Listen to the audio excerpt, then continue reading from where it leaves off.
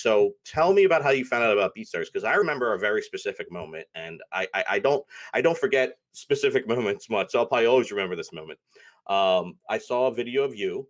People probably thought we paid you to do it, but we didn't. I didn't even mm-hmm. know who you were, but it was probably a good year and a half ago, maybe I'd say, mm-hmm. maybe two. I am not sure exactly, but I saw a video of you on YouTube um, doing a review of BeatStars. Um, and obviously, it was a good review. So I like that. Um, so I, I, I, think I reached out to you and we started talking. So you were on BeatStar. So how did you, I mm-hmm. guess, how did you find out about it? I'm, I'm curious kind of how you stumbled upon it or found out about it and, you know, kind of what made you, you know, join and what, you know, made you gravitate towards it.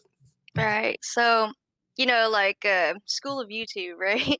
Mm-hmm. So when I was starting out, like first and foremost, I wasn't that confident about posting like my music yet, but I was like, yo, if if I don't do it now, it's probably just gonna sit in my computer for like ever. Yep. And prior to BeatStars, I was starting to post my beats up on SoundCloud, like the usual SoundCloud, YouTube. But I'm like, okay, well, there's like no payment portal here, so how is anyone gonna buy this? So I kind of went and try to reinvent the wheel by making my life harder and having like my own website. And um, I try to like host uh, I don't know, like I was putting like MP3s and like waves up on there, but it was like a yeah. single transaction type of thing.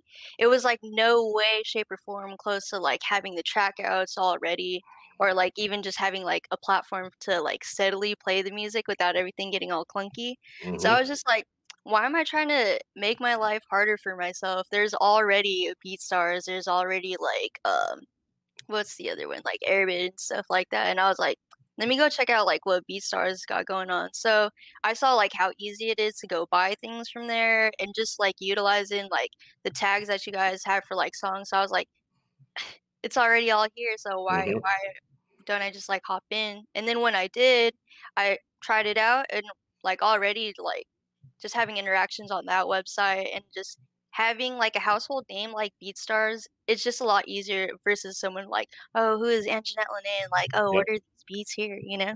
So that's how I got into it. No, that's dope. That's really interesting. Um, and I, I think it's important. You pointed out that you kind of try to, I guess, reinvent the wheel. And I'm not like actually against reinventing the wheel. Like more power to somebody if they want to build their own website, their own player, their own mm-hmm. all this. Like, dude, more power to you because I know how much goes into it and how insane it is to run something like this at the scale it's yeah. being run at. So, um, but my advice would be why, like you said, try to invent reinvent the wheel when you have everything there for you for, in my opinion, a, a price or a structure of that's underpriced. I think it's I think it's too cheap. But um, but yeah, but I, th- I think that's interesting. So you kind of tested things out, and then you kind of you know kind of found a home here, and I think that's what the cool part of it. You get the community, you get the marketplace. There's so many people there shopping, um, and then you build relationships. Like I would have never found you probably. Well, I don't want to say never because I maybe would have found you some other way, but. Mm-hmm the odds are you know, a lot worse than what had what happened, right? So I was able right. to find you because of something that you did, and that's how we've built a relationship and have stayed in touch now for a year and a half, or you know whatever the timing is. So I think that's another important point for everybody in the chat is just to realize that relationships, even small interactions, can lead to things that grow in the future. You know, I have people I'm still talking to 15, 20 years in this business that we still keep in touch and still do stuff together.